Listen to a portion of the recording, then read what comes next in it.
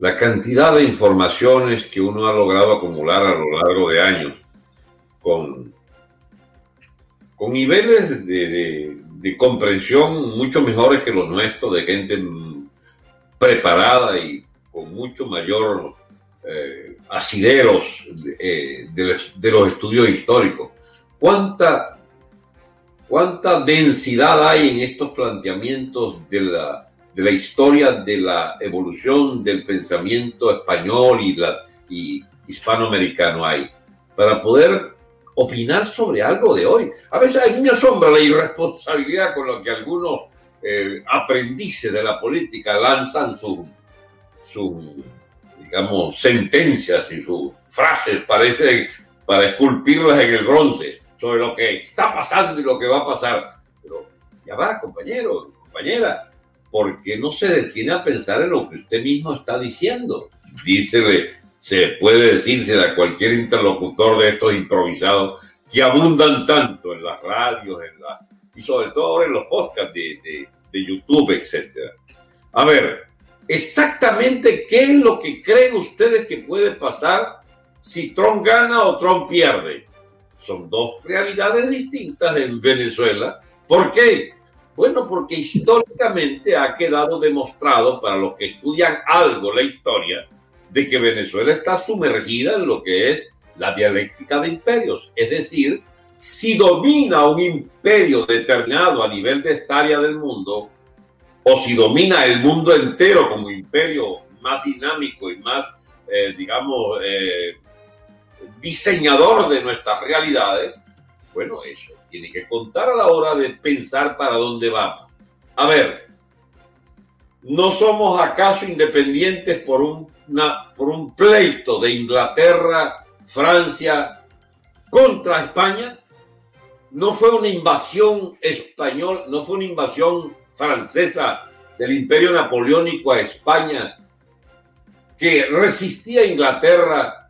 desde Portugal, que era un cliente, ¿cómo se llama? Inglés, el que termina ayudando a las fuerzas internas de España a expulsar a los franceses y a iniciar un proceso de revolución ligado con independencia que llevó a las Cortes de Cádiz en 1812?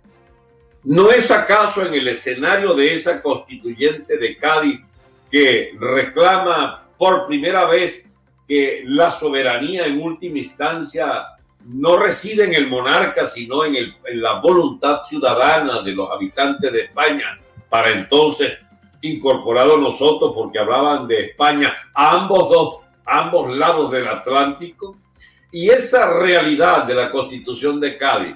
no habrá impactado quizás a personas muy lúcidas como el generalísimo Francisco de Miranda, que capitula ante las autoridades españolas porque en la guerra civil que se había iniciado, llamada guerra de independencia, pero fue una guerra civil inicial, porque la mayoría parda y los negros libertos estaban, estaban en el bando, en el bando realista, igual que ocurrió en muchos países de América eh, del Sur y, del centro y, México. A ver, ¿no es acaso esa definición de la propia guerra de independencia eh, frustrada para una idea diferente a independizarse de España,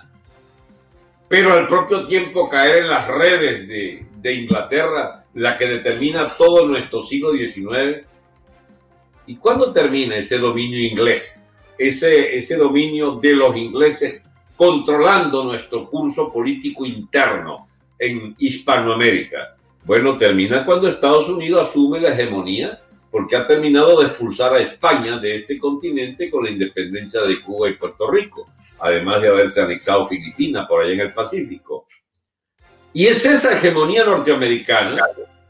que funciona al lado de Castrico, de Cipriano Castro, para echar los barcos acá de Europa que querían cobrarse unas deudas, y es con Gómez y la dictadura gomecista de 25 años, como no solo se terminan de pagar las deudas, sino que se afianza la Venezuela petrolera, la Venezuela diseñada por los eh, imperialistas de Estados Unidos, que, bueno, a diferencia de otros imperios como el inglés, el holandés o el portugués o el belga, eh, no era un imperio depredador masivo, sino que trató de articular una, una no una colaboración y una, una una apuesta por el país, no, no, sino una manera de explotar un poco diferente a los otros imperios, no se nos vino ni a exterminar, ni a sojuzgarnos con una forma de esclavitud o hacer de Venezuela, como hizo el rey Leopoldo de Bélgica del Congo, una hacienda particular de él. Esa, esa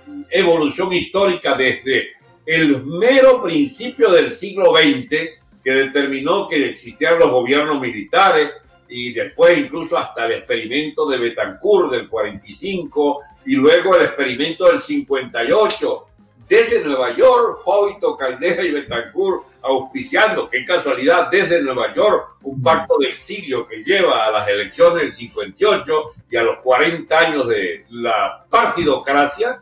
ya habían cambiado los aires y se pudo permitir este tipo de régimen, y entonces hasta aterrizar en la maldición de Venezuela, que por influencia e interferencia directa de otras potencias, en medio de cierta decadencia de Estados Unidos, en el post-Vietnam, eh, Rusia, China y Cuba. Imagínense ustedes caer en manos de influencia cubana, una potencia de cuarta categoría que sin embargo por cuenta de los rusos había hecho sus incursiones con 100, 200 mil tropas en África y que se permitía, después de haber fracasado en nuestro propio suelo con la guerrilla de los años 60, hacerse de un espacio impresionante en, la, en el diseño de las políticas internas de Colombia y Venezuela y tenemos el chavismo 20 años atornillado al poder de Venezuela con un problema. Nunca se entendió que esto era una agencia, este pajuato de Maduro es una agencia directa de intereses foráneos, de los intereses rusos, de los intereses sobre todo chinos y de los intereses emergentes de eh, Irán. ¿Y qué pensaron de todos estos señores interesados en, en acentuar la decadencia norteamericana? y en poner de relieve un interés nuestro específico en tratar de, ¿cómo se llama?, de, ser un agente internacional contabilizable, contable en la, en la, en la perspectiva de la situación, en el, en, el, modelaje de la política mundial, pues nada más y nada menos que estos señores electos por Smart Mati resolvieron con los persas, con los chinos, sobre todo que son los, dueños de la empresa Dominion, de Estados Unidos que funciona para contar los votos en 30 estados, resolvieron hacer un fraude contra el Partido Republicano de, de Trump. Apenas Trump mostró que no quería la injerencia china a nivel mundial al punto de someterle a una especie de minusvalía. Cuando Estados Unidos empieza a hacerse grande otra vez de la mano de Trump y que tiene planes, por supuesto, con mucho rezago, los Guaidó y compañía andan lambuceando por allí en esa diplomacia, digamos, de inercias anteriores del propio Departamento de Estado comprometido con intereses bastardos del Partido Demócrata, en particular el tal Shannon, ese, que este, era el, el, el factotum allí, pues, el que se reía a carcajadas con Diosdado en esa foto en Puerto Príncipe, el mismo Shannon que va y, va y viene a ver, a Maduro para arrancarle alguna concesión para los muchachones de la MUD. Ha llegado el momento, chico, en que Trump, que tiene que defenderse de Smartmatic, de dominio de los rusos, de los chinos, de los persas, de los cubanos, y de Maduro, Dios dado, que metieron sus pezuñas en el sistema electoral venezolano, eh, ¿cómo se llama? Norteamericano. La victoria de Trump sobre esta gente implica ahora que Estados Unidos va a tener que ver de cerca qué se hace con esa garrapata de la diplomacia venezolana anclada así con el tejido mismo de la nación norteamericana, que no es cualquier garrapata menor, son decenas de miles de millones administrados por banqueros chavistas, banqueros bolichicos, banqueros de la, de MUD, banqueros pro Leopoldo, banqueros pro Guaidó, banqueros de la peste socialdemócrata en España que llevó a Podemos, el partido financiado por Chávez y Maduro, a la hegemonía de nada más y nada menos que el Estado español y a tener influencia creciente en los negocios de toda Europa, que han tomado cierta distancia de Estados Unidos y que prefieren escoger el tema venezolano como un terreno de los equilibrismos, donde los intereses de Maduro cuentan y ya se permite contar con el gobierno español para acoger a Leopoldito como gran factotum allá y para tratar de reactivar en Estados Unidos el lobby en el Departamento de Estado que lleve a los buenos tiempos de Chano y del señor Story que han diseñado estos cuatro años de parálisis para muchos de los temas que interesan realmente a Venezuela y se contentaron con regatearle a Maduro algunos espacios de reconocimiento hasta el último año en que Trump resolvió ir cada vez más a fondo, pero con unas grandes limitaciones. Y son esas limitaciones para la confrontación contra el madurismo lo que ahora está en tela de juicio. Es decir, es esa política del Departamento de Estado, como tú bien anotas, que ahora va a ser revisada al ratificarse el triunfo de Trump después de este intento de fraude donde participó el madurismo, el castrismo y los persas, etcétera, los de Irán, Rusia y China sobre todo. Amigo, lo que está en juego en Venezuela otra vez, como en dos siglos, es el tema de dialéctica de imperio. ¿Cuál imperio